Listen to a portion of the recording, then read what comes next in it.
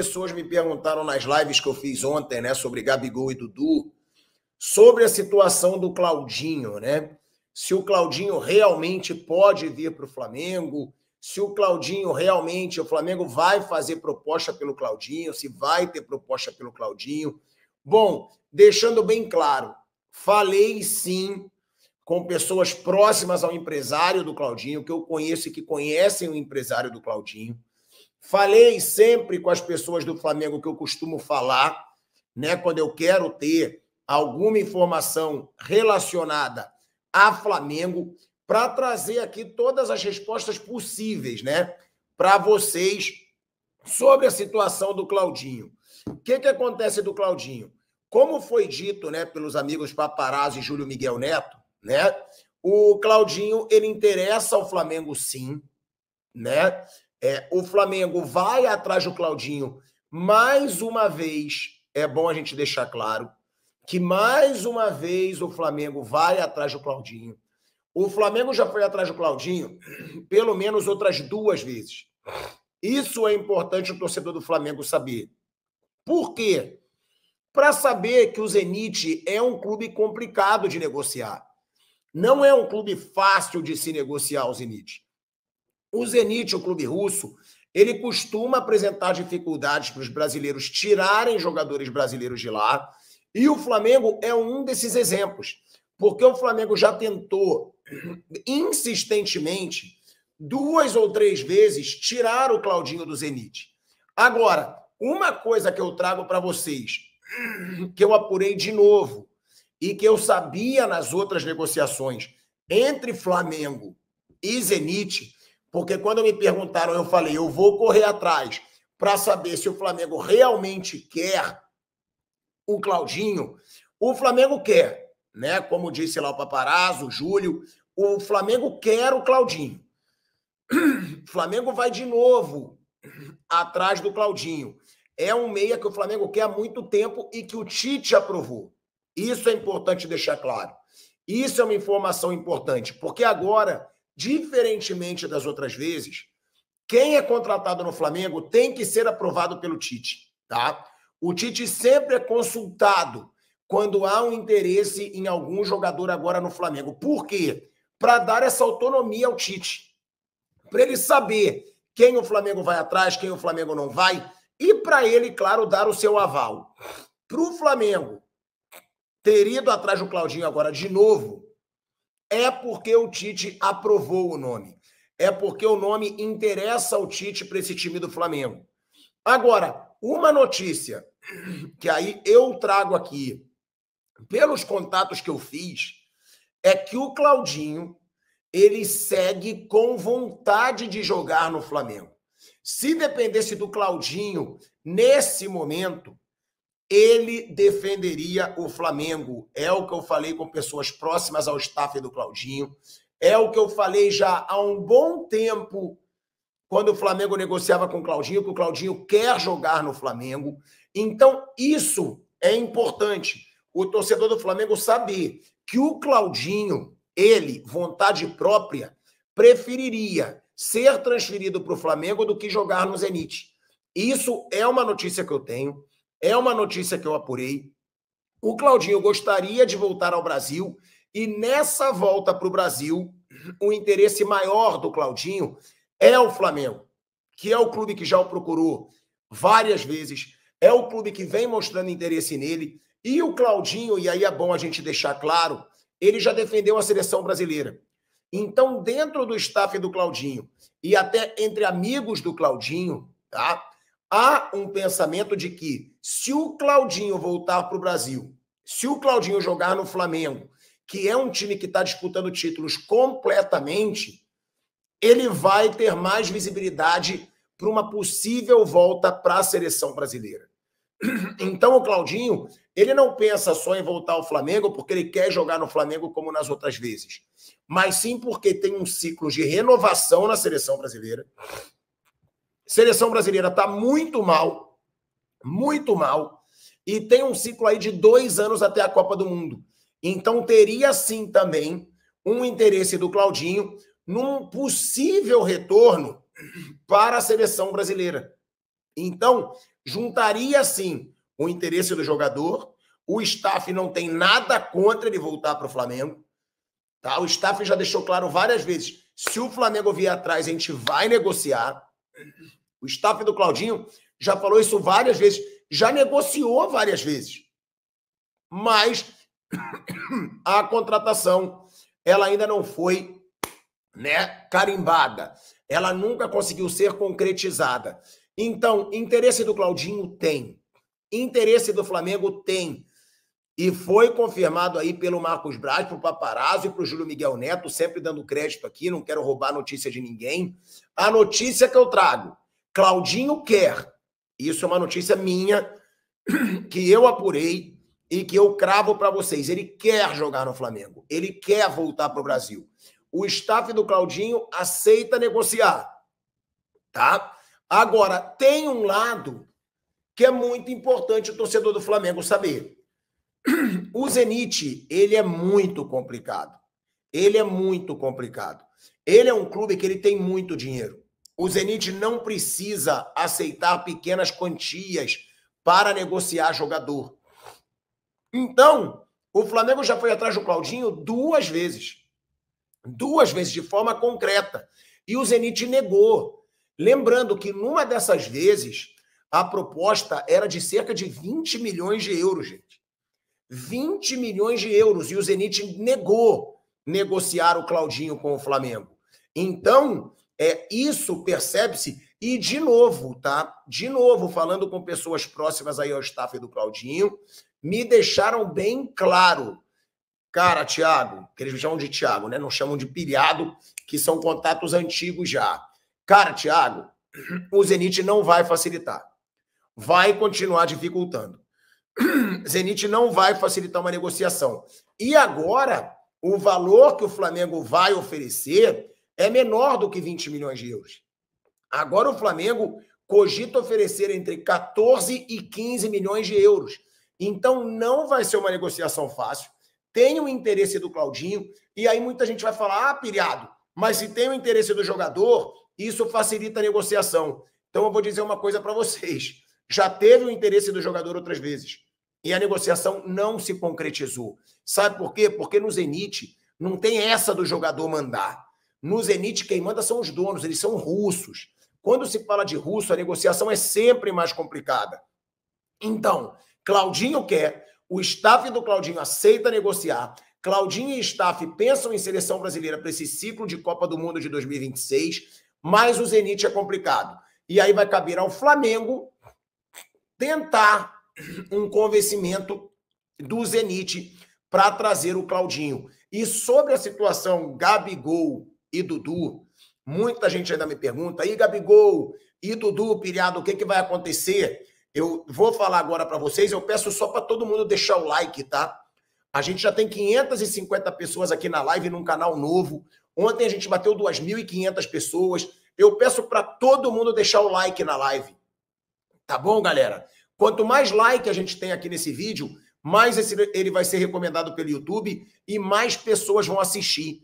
Então, por favor, todo mundo que está aqui, senta o dedo no like e se inscreva no canal Pilhado Esportes, tá?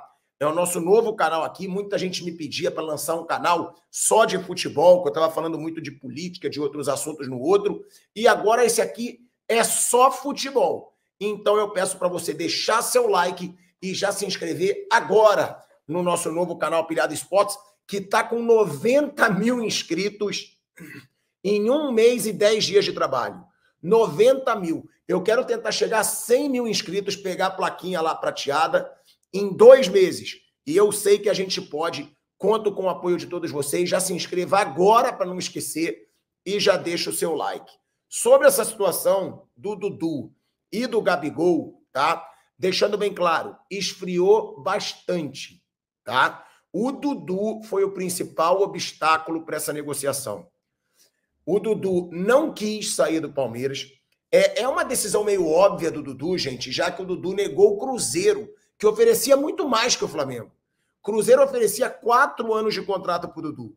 Ele teve a reunião lá com a torcida organizada do Palmeiras e ele decidiu ficar no Palmeiras. Então o Dudu ele não quis. E aí uma coisa importante também para vocês saberem dessa negociação: o Flamengo não insistiu tanto.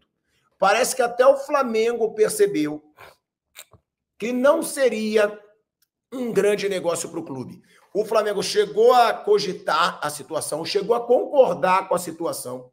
Isso eu trago aqui para vocês. Só que a reação da torcida do Flamengo e de alguns conselheiros não foi positiva. E aí a diretoria do Flamengo acabou adorando que o Dudu não aceitou e nem insistiu.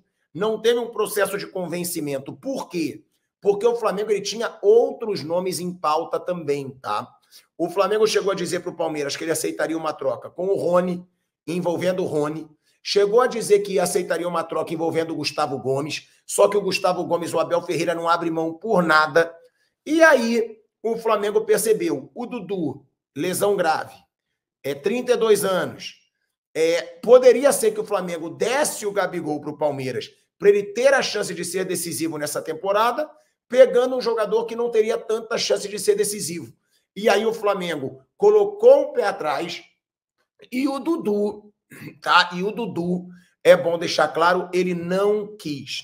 O Dudu bateu o pé. O Dudu deixou claro: não quero sair do Palmeiras. E é uma situação bem óbvia, eu mesmo dizia isso. Como que o Dudu vai aceitar jogar no Flamengo se ele não aceitou ir para o Cruzeiro? Ele tinha no Cruzeiro um contrato de quatro anos. Ele ia ganhar luva. Ele ia ganhar 2 milhões e 200 mil reais de salário por quatro anos. E ele negou. E aí o Dudu não aceitou. Então, provavelmente, se não pintar nenhuma proposta do exterior, o Gabigol fica no Flamengo até o fim do ano. E aí, claro, sai de graça o Palmeiras, isso já é informação, né? O Palmeiras já encaminhou uma proposta de assinatura de pré-contrato para o Gabigol. Ou seja, a tendência é que a partir do ano que vem o Gabigol seja jogador do Palmeiras. Tá? Muito torcedor do Flamengo me pergunta. Dudu vai para o Palmeiras, o Gabigol vai para o Palmeiras? Provavelmente. Agora, o staff do Gabigol também espera propostas na, é, da, do exterior. Ou seja, a partir do dia 10 agora, 10 de julho, a partir de amanhã, o Gabigol abre a janela de transferências e o Gabigol pode receber propostas do exterior. Então, seria um risco do Palmeiras. O Palmeiras não quer pagar nada agora para o Flamengo, prefere esperar até o fim do ano. Seria um risco para o Palmeiras ter uma proposta aí do exterior para levar o Gabigol. E para a torcida do Flamengo, essa seria a melhor opção. Óbvio. O torcedor do Flamengo está louco para o Gabigol ir para fora do país, porque assim ele pode não brilhar num rival. Né? Esse é o pensamento hoje do torcedor do Flamengo. Então o Flamengo vai atrás do Claudinho, o Flamengo vai fazer proposta, mas o Claudinho é uma negociação muito complicada. Galera, eu peço like, hein? Peço like de todo mundo. Quanto mais like a gente tem aqui no vídeo, mais o YouTube vai recomendar, mais pessoas vão assistir. E eu preciso do apoio de vocês aqui no começo do canal Pilhado Esportes, tá? Todo mundo que estiver aqui, senta o dedo no like. É muito importante pra gente. E uma coisa que eu queria dizer, obrigado, Oi, Gris, pelo carinho. Tamo juntasso. O Dudu também mandando. É, Claudinho joga muito. Uma coisa que também é importante é que muita gente está me perguntando: ah, mas e o Paquetá? O que que o Paquetá vai. Ó, tem um que eu adoro aqui, é o tipo de gente que eu adoro. Que aí eu vou mandar na lata dele. Pilhado é ridículo o que você faz na Jovem Pan. Muita palhaçada. E é nítido que os outros componentes ficam incomodados. Que bom, André, que você acha ridículo o que eu faço na Jovem Pan, porque pelo jeito o público não acha. Porque a Jovem Pan, quando eu entrei lá, o público no YouTube batia 7 mil no máximo. Hoje a gente bota 40 mil, 100 mil, já botamos 200 mil, para você ver como a sua opinião para mim não conta porra nenhuma. Olha que maravilha. Você não precisa assistir, você não vai fazer falta nenhuma, inclusive com essa energia negativa que você traz. Então, eu sou a favor de ter energia positiva. Se você é energia positiva, pode vazar daqui do canal Pilhado Esportes, porque você não vai fazer falta. E na Jovem Pan, vai fazer menos falta ainda, né, meu amigo? Porque uma audiência que batia no máximo 7 mil, hoje bate 100, 200. Graças a Deus, meu trabalho é muito reconhecido lá dentro e também pelo público na rua. Já você não vai fazer falta nenhuma para mim.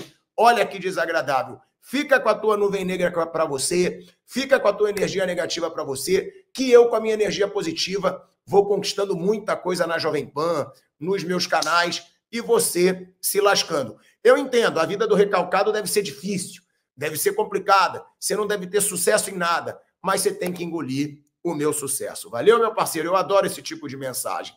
Olha aí, ó. É, temos aqui o superchat do Kaique.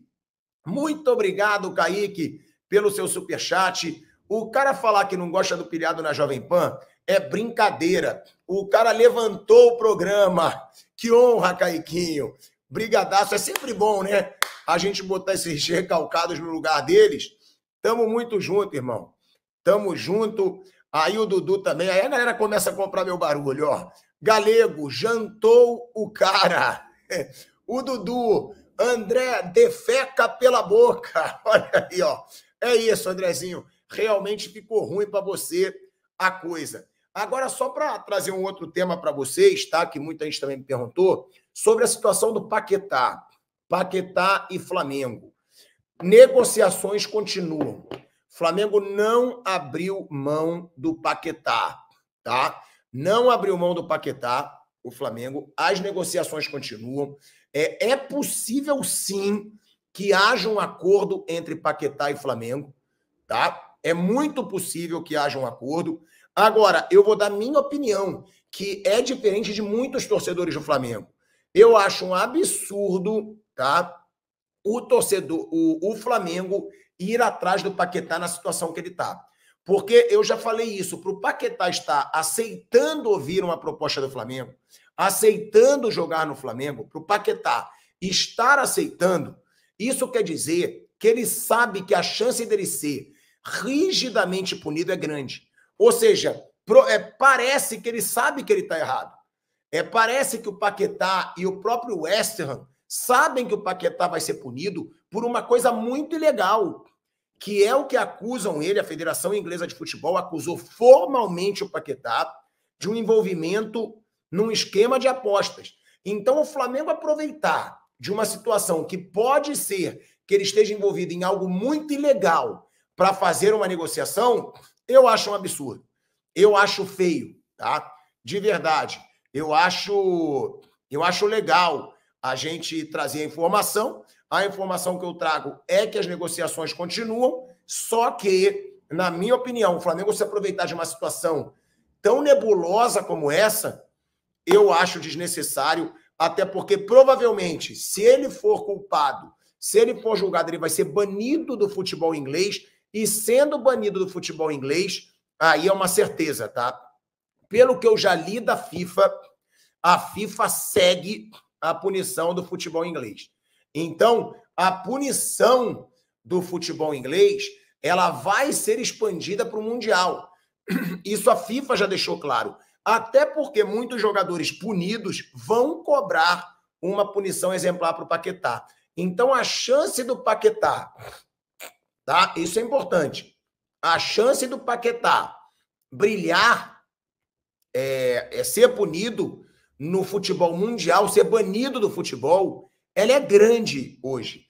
E aí o Flamengo se aproveitar de uma situação dessa para contratar o jogador, eu acho desnecessário. E eu acho que é uma munição que o Flamengo dá assim para os seus rivais para questionarem a ética, para questionarem o posicionamento da diretoria do Flamengo. Mas notícia, e eu estou aqui para dar notícia, é o Flamengo continua negociando com o Paquetá. Ainda há sim a chance de um acerto do Flamengo com o Paquetá. E o West Ham, que é o clube inglês defendido pelo Paquetá, só aceita comprando. Ou seja, o West Ham comprou por 60 milhões de euros. Manchester City tentou tirar o cara por 100 milhões de euros. Não aconteceu a negociação por causa desse, desse escândalo aí das apostas. Então, o West Ham sabe, para ele estar tá abrindo negociação com o Flamengo, que não vai pagar nem perto de 100 milhões de euros, é porque o West Ham sabe que a punição vai ser severa para o Paquetá. Galera, eu peço like, tá? Like de todo mundo. Todo mundo que está aqui agora, se você puder, deixa o seu like, porque ele ajuda muito a, a, nas visualizações aqui do canal. Quanto mais like, mais o YouTube vai recomendar esse vídeo. mais pessoas vão assistir, mais pessoas vão conhecer nosso novo canal, que é o Pilhado Esportes, que eu abri há um mês e dez dias e a gente já está com 90 mil inscritos. Então, por favor, todo mundo que está aqui, se você curte o meu trabalho, se você gostou da ideia de eu criar esse canal só para futebol, deixe o seu like. Não deixa de deixar o like, porque ele ajuda muito a gente. O Rafael, ele manda, ó. Ah, mas o Paquetá pode ser banido. Se caso venha acontecer, é claro que vai ter uma cláusula sobre esse caso. E não vejo nada de mais nisso. E o Paquetá joga muito, não rende muito na seleção. Rafa, deixa eu dizer, você pode ter sua opinião. Concordo com você, claro que vai ter uma cláusula que se ele for banido, o Flamengo vai, pagar, vai parar de pagar salário. Mas eu acho que apelar para um assunto como esse, para conseguir contratar o jogador, eu acho, eu acho errado. Mas eu entendo, e eu também concordo com você. Eu acho que, que o Paquetá ele, ele joga muita bola. Tecnicamente, faz muita diferença para o Flamengo. Olha o Renato, jornalista imparcial no futebol. É isso que precisamos. Tamo junto, irmão. Tamo juntasso. Cactus. Ele manda pilhado. Tem a possibilidade do Paquetá ser punido na Europa e poder jogar no Brasil? Cactus, ó. Eu já respondi isso aqui nessa live e vou responder de novo. Não tem. É muito difícil. Se o jogador é banido no futebol inglês, a FIFA ela vai seguir a punição. Isso aí já foi deixado claro várias vezes. Várias vezes a FIFA já afirmou que se houver uma punição por algum esquema de aposta esportiva na Inglaterra, ela vai expandir essa punição para o mundo. Por quê? A FIFA não vai compactuar, até porque a FIFA tem patrocinadores de aposta esportiva. Os patrocinadores de aposta esportiva, eles tomam o futebol hoje em dia. E é lógico que a FIFA não vai aceitar, tá? Essa situação de ser banido no futebol inglês e não ser banido no futebol mundial. Isso aí eu já li entrevistas do presidente da FIFA, do Infantino, e ele garante um jogador banido no futebol inglês, ele vai ser banido no futebol mundial. Então, se você me perguntar isso aqui, Cactus, eu vou te dizer, ele provavelmente vai ser banido no geral é banido no futebol inglês, a FIFA automaticamente ela vai expandir esse banimento para o futebol mundial. Ou seja, se o Flamengo contratar, é claro que vai ter uma cláusula. Ó, foi banido, Flamengo para de pagar salário. Mas eu discordo de aproveitar de um assunto tão nebuloso para negociar um jogador. Galera, não deixa de deixar seu like, não. Seu like me ajuda muito. Quanto mais like, mais visualizações a gente vai ter. Então eu peço, senta o dedo no like. Todo mundo que está aqui agora, deixa o seu like no vídeo, porque a gente vai ter mais audiência, vai ter mais visualizações. E, por favor, se inscreva no canal Pilhado. Tá? Para se inscrever é muito fácil. Basta você clicar agora nessa palavra que está escrito aqui embaixo da sua tela. Ó. Inscrever. Está escrito embaixo da sua tela aqui inscrever. Clica nessa palavra que você não tem que pagar, não tem que se cadastrar. É só clicar nessa palavrinha aqui embaixo. Tá bem embaixo da sua tela, inscrever. Clicou ali, você ajuda muito no meu trabalho. Você vai ajudar muito o canal Pilhado Esportes a crescer nesse começo. Para vocês terem uma ideia, nesse momento. Então é isso aí, né, família? Ficamos com o nosso giro de notícias aí do Flamengo, informações atualizadas e trago aí pelo jornalista pilhado, né, o Thiago Asmar, trazendo sempre informações importantíssimas e quem puder passar no canal dele, se inscreva lá, é muito importante, fundamental a sua participação. A gente agora vai ficando por aqui. Um grande abraço no teu coração, até o próximo vídeo, não esquece de deixar like. Valeu, um grande abraço, fui!